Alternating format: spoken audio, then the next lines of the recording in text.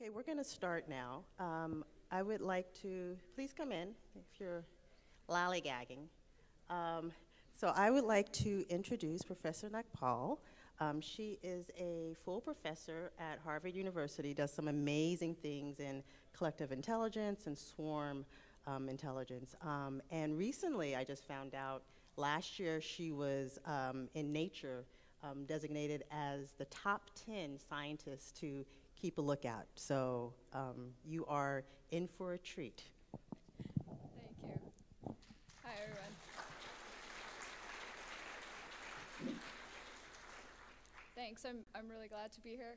Um, so, for those of you who may have heard me give a talk before, I usually start with these two images of, which for me are just fascinating examples of collective behavior. So, if you look at the image on the left, it's an image of a starfish, but you could also think of a starfish as just a multicellular organism, right? It's a bunch of cells that, have, that are cooperating to create this immense structure that can function, that can locomote, that can eat, that can reproduce.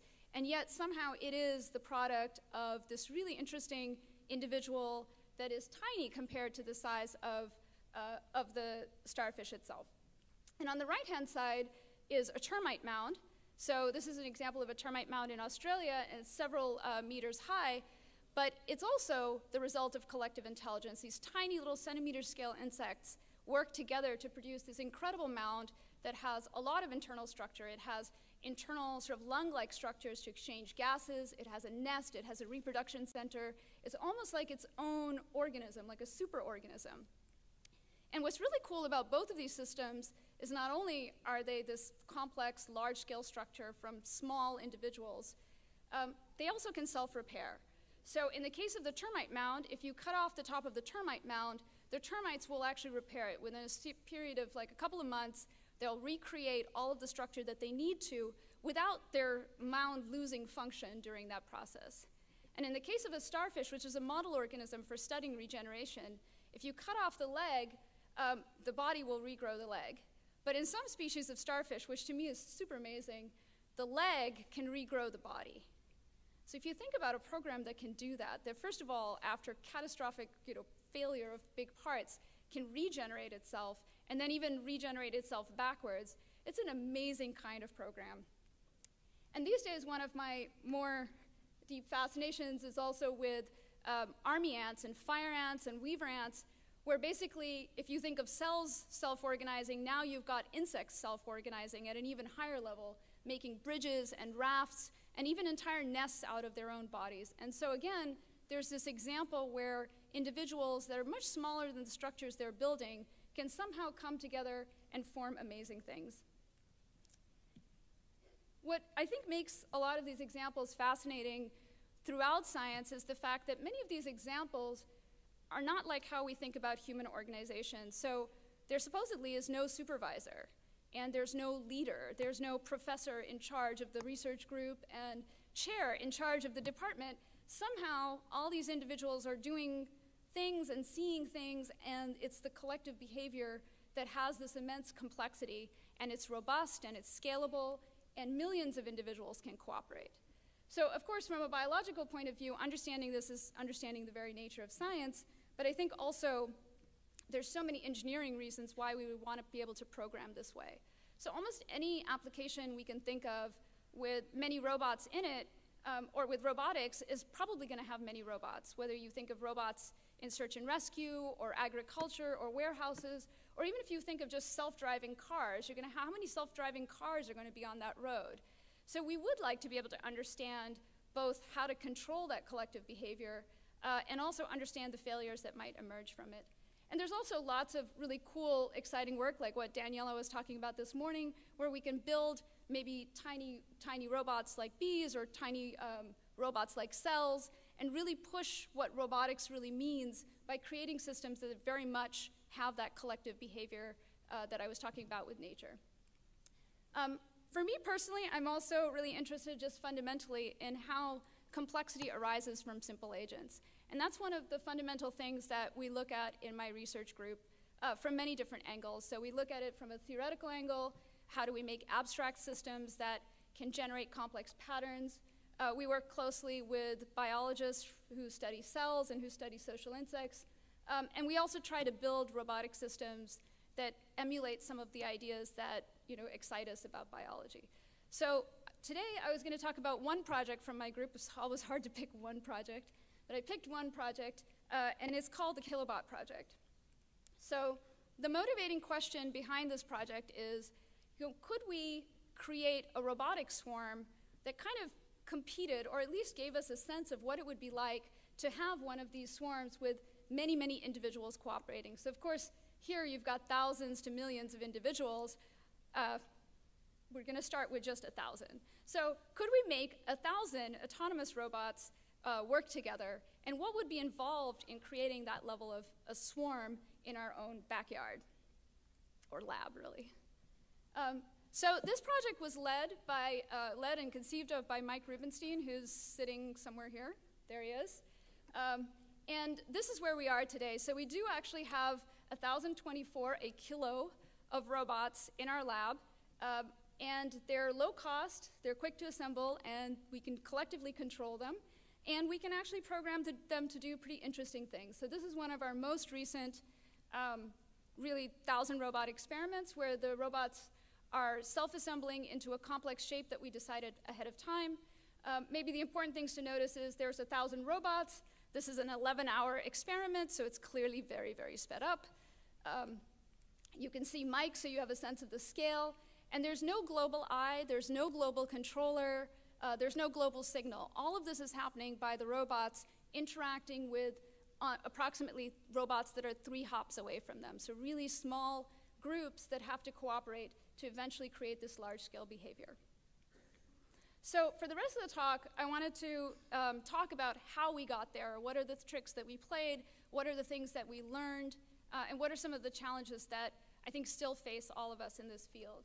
Um, but I wanted to start by saying that, of course, our work builds on decades of work um, where people have really thought deeply about the challenges of these systems, both how do we build swarms of robots that can cooperate and how do we build large swarms, and also how do we program them to do interesting behavior. In both the fields of swarm intelligence and programmable materials and modular robots is really sort of the foundation on which the work uh, we've done has built on.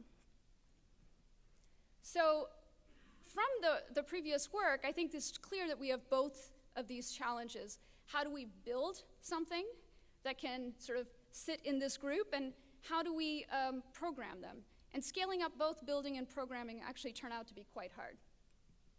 So if we want to build a swarm of 1,000 robots, which, you know, before maybe you have 20 robots or 100 robots, 1,000 is a pretty big number. And it turns out there's lots of challenges.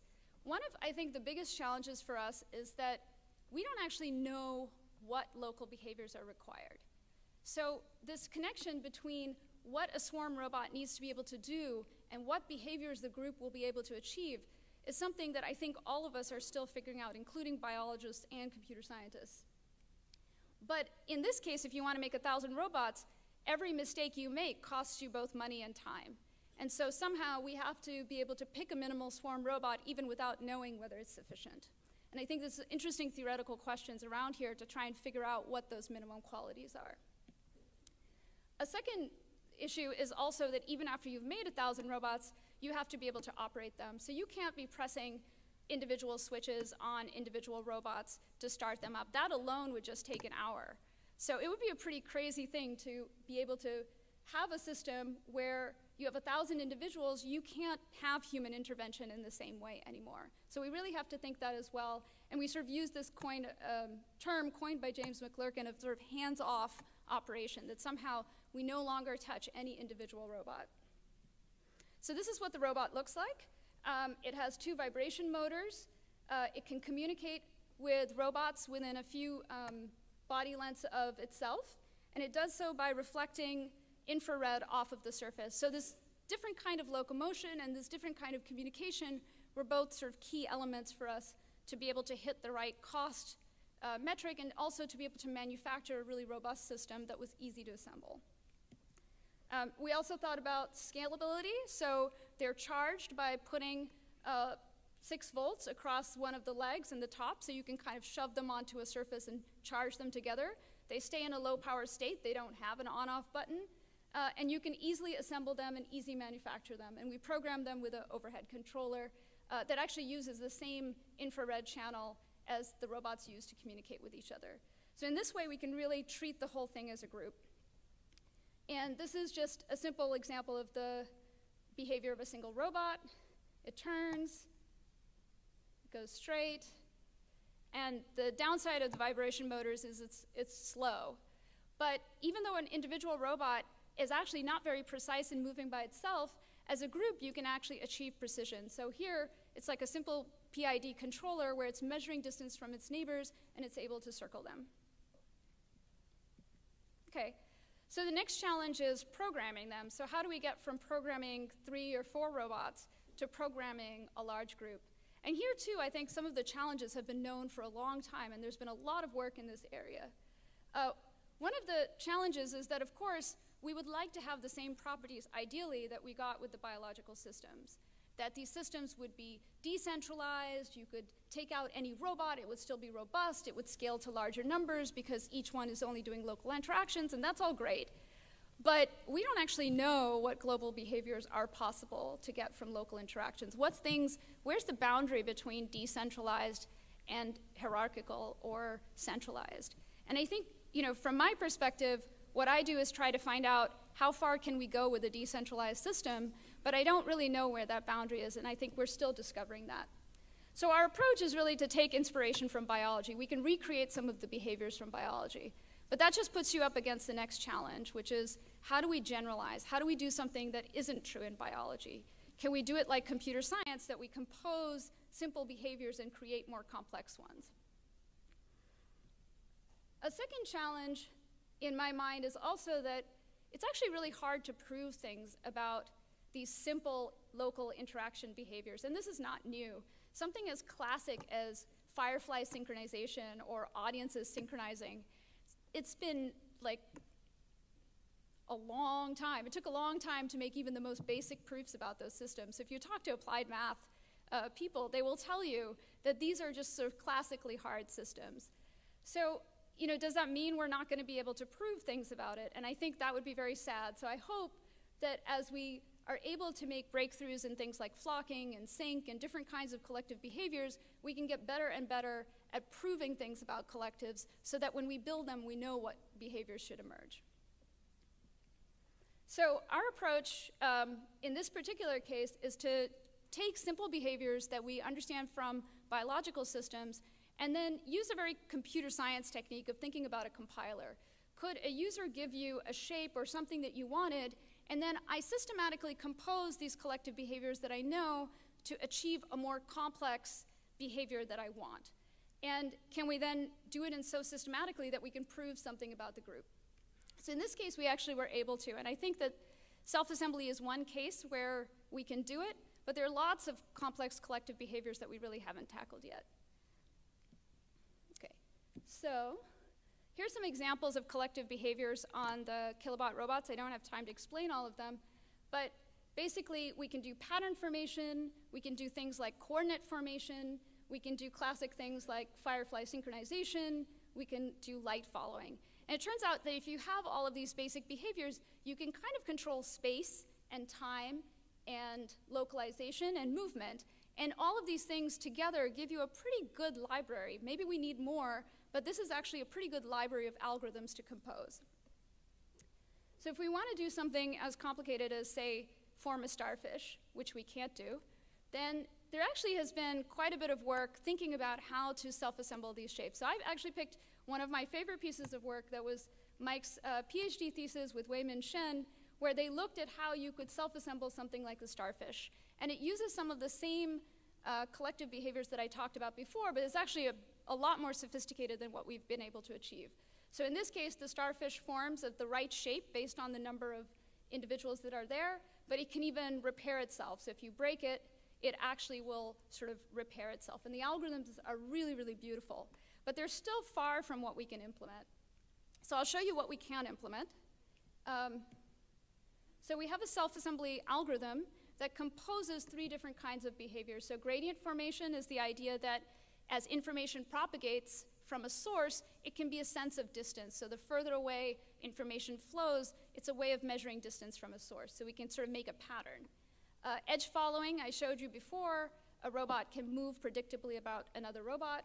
Uh, and positional information is the idea that's been used a lot in sensor networks uh, and other contexts, which is that if we can measure distances from each other and we can form triangles, we can actually start to figure out where we are relative to each other. And in this way, a whole system can actually form a coordinate system in a distributed way.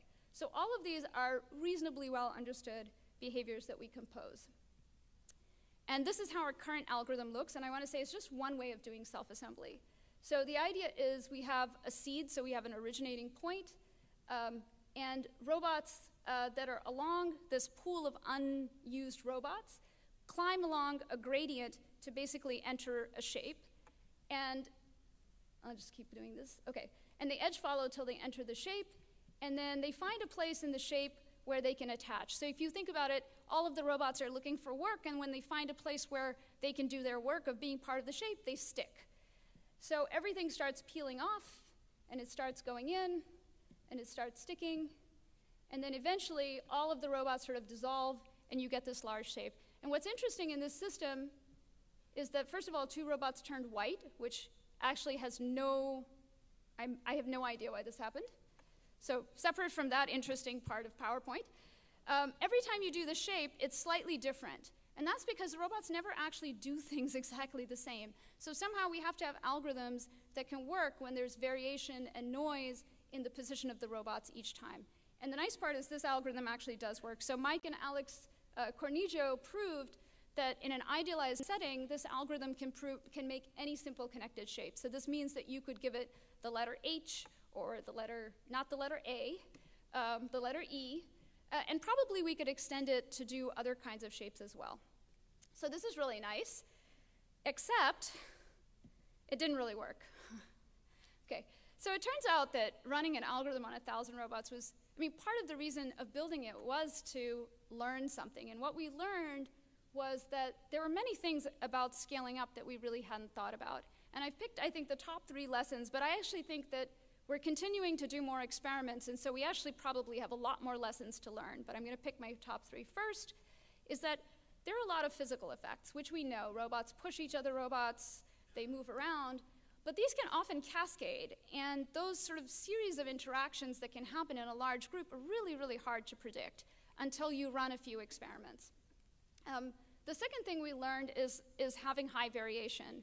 So we're all used to the idea that robots are noisy. But what we found is with a thousand robots, robots are predictably noisy. So if you think of a traffic lane, and you think of a traffic lane uh, with lots of drivers, all drivers have, you know, you can make some stochastic model, but some drivers are just slower than others.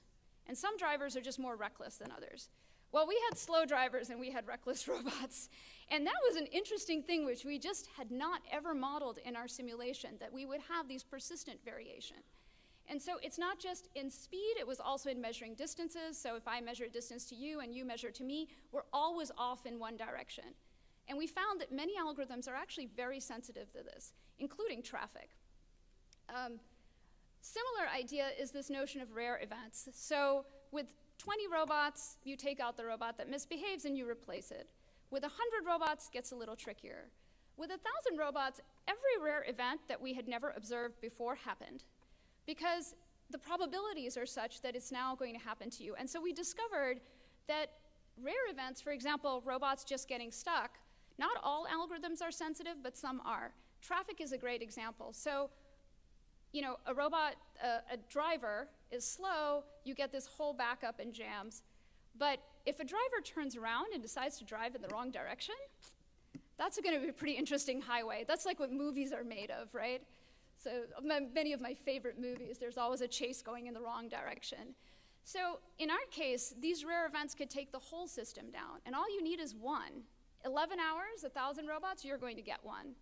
So what we found is that it's not enough actually to just make these robust algorithms. We actually had to make new algorithms, algorithms that in some sense were looking and eliminating rare, rare errors, um, algorithms that were more resistant to variation, uh, and it's an interesting idea that maybe as we have more and more robots, what we actually can't do is make better and better algorithms. What we'll have to do is make like an immune system where you really have robots that are dedicated to removing badly behavior robots. You can't really just fix every algorithm to accommodate an arbitrary amount of noise. And so we had to add certain algorithms, for example, to find these robots that were misbehaving in the traffic kind of situation and actually cause them to decide to reboot themselves or take themselves out of the process or something. So it was actually a very interesting um, system. I think we also, just in general, have a lot to understand about emergent properties of existing algorithms. There are many things about the algorithms that we use that we thought we understood really, really well. Uh, and one of the things I think is just this idea that there are actually very specific error patterns that happen. Some, some programs are very sensitive to rare errors. You have a rare error, but that rare error turns into a cascade of errors. Some cases, rare errors just get absorbed. So understanding which algorithms are going to be sensitive and sort of amplify small errors is actually something that I think we still don't fully understand, in part because our simulators aren't capturing all of the things that are happening physically. And now that we have this thousand robot system, we can actually try these things, run experiments with 10, 100, 1,000 robots, and try to uncover what are the things about these algorithms that we didn't mathematically model that perhaps we can mathematically model now. Okay, so I'll just show you two sort of close-up videos, uh, two videos of the system. So here you can actually see one of the robots starts, and then it gets stuck, and then the other robots actually know to move around it.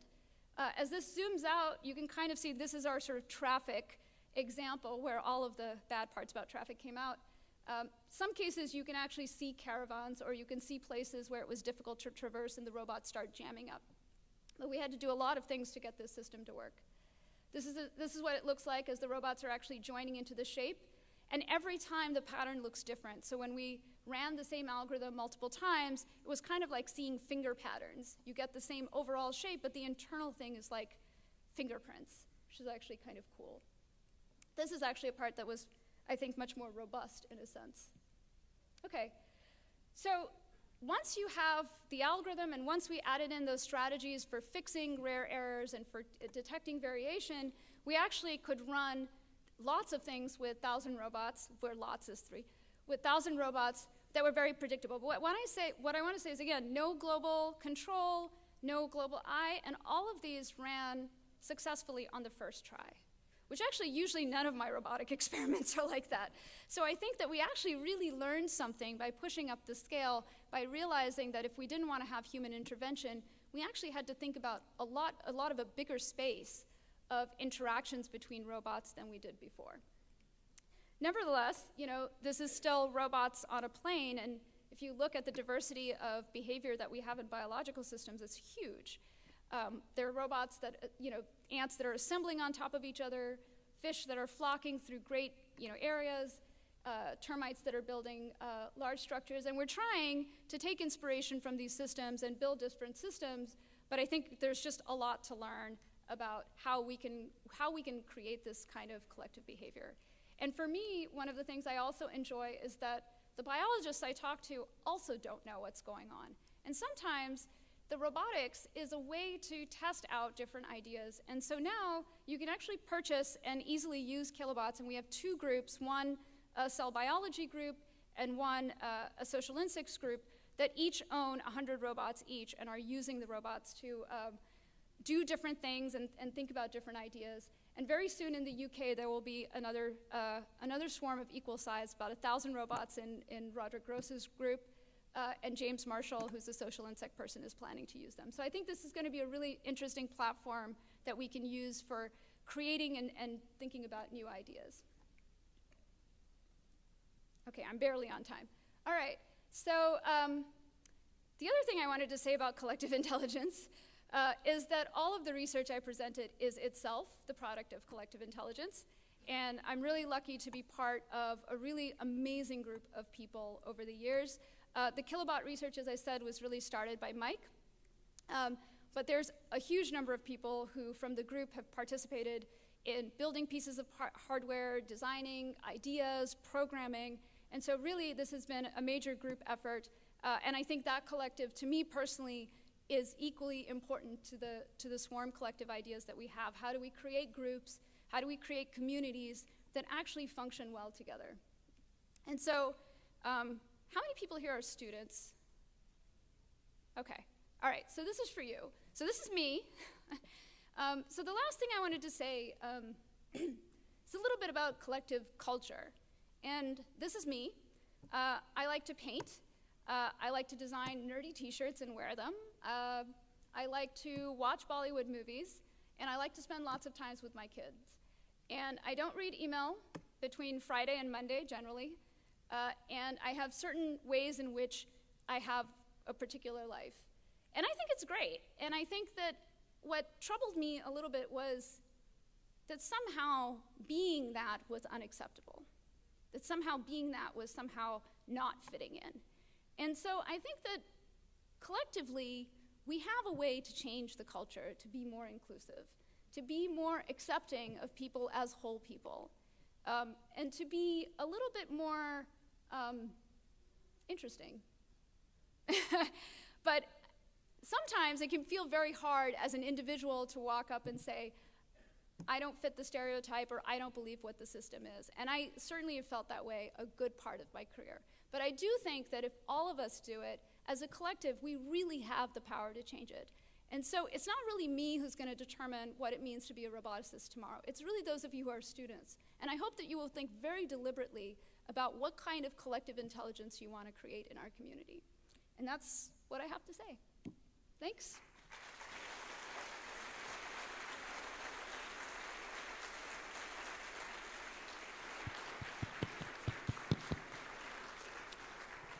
So we have time for uh, a few questions, if anyone has any questions. Thank you. Very, very impressive.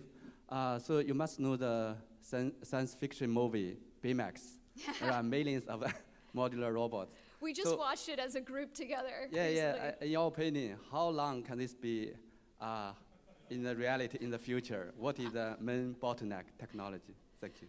Well, hopefully Mike will be starting his own group, so it'll all be his fault if it doesn't happen within the next five years.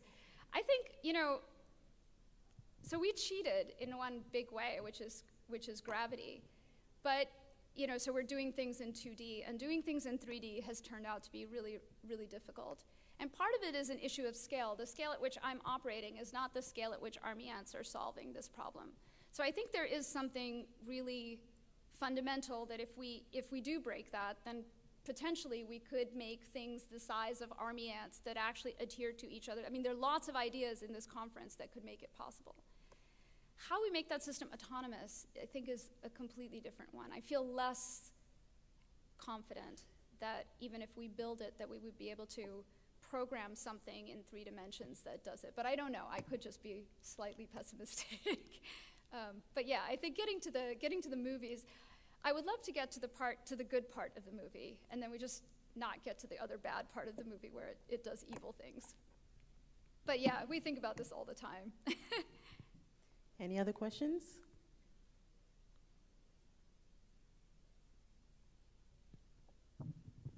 Hi. Um, I have a rather technical question, or a little bit more technical question. Uh, these rare events, uh, if we are talking about 1,000 robots, how do you really debug them? I mean, how do you understand the, the reasons and how How do we understand what the event was? or Yeah, I mean, what, what, what was the uh, cause for the event? Yeah, so I think the first example that we saw was actually that robots' motors get stuck. This is not a surprising thing that sometimes the vibration motors get stuck. Um, but we thought we had calibrated all the robots to sort of prevent this from happening. But in 11 hours, there's a very small probability that that will happen. And the robot can't detect that it's not moving. As far as it's concerned, it's sending power to its motors, but the motor is not moving. So it's basically sitting around doing a very destructive behavior. And, and because it causes everything else to stop, it was really hard not to notice that error, if that makes sense. In the other cases where we're now systematically looking for it, another kind of error is where you've created a system where you think you've reduced the message loss probability below something, right? But then every so often, the message loss, for reasons unexplainable, is higher than that right? And the question is, is that going to be enough to trigger something in your system that just causes a cascade? And that's what we realized. We just were running gradient algorithms, which is basically message hops incrementing away. There's no movement. But you run it on small groups of robots, you don't, it always converges and looks great. You run it on bigger groups, every so often something happens. A little spark, some robot makes a mistake. But then it just causes this cascade where somehow you broke all of the, the protection that was supposed to be there. And I think, you know, we will probably learn something about that, and maybe what we'll learn is that you can't prevent the rare errors that cascade, you can just make them lower and lower and lower probability. And then as you get bigger and bigger, you're basically playing a game of like them actually happening. And then maybe there's other protection mechanisms you could do at a higher level that says, well, you know, don't, don't rely on a gradient for longer than X amount of time or something like that. So I'm not, I'm not sure. I mean, this is sort of current area of research for us. Actually, one of the reasons I don't have any robots right now is because somebody is running a thousand robot experiments trying to find what are the causes of those rare errors. So hopefully in a year or so we'll have, a, I'd have a better answer for you. But those, I think, message and communication are two fundamental things that the robot is doing. I think the third one would be computation, but we haven't really noticed, I think chips are just a lot more reliable. We haven't noticed any of those kind of errors where it actually executes the wrong program or something.